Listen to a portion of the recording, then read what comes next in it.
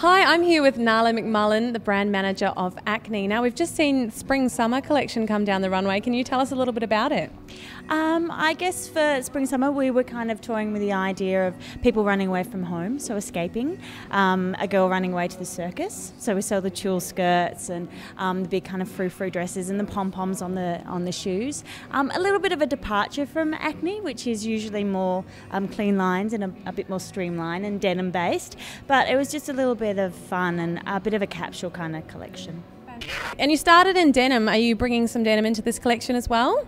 Um, well, we always have our core denim, um, which we have a couple of main styles, uh, but there's always seasonal washes. So yeah, look out for those when um, you know full spring summer hits. Fantastic.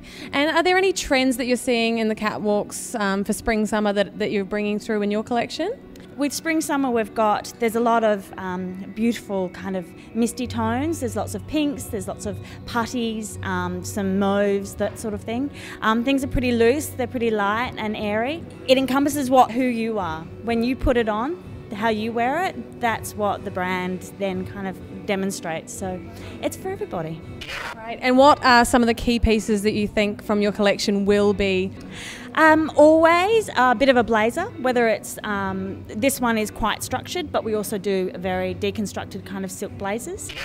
Um, also important, we've got some ruffles. Um, which adds a little bit of femininity. Um, and then also just the colour palette.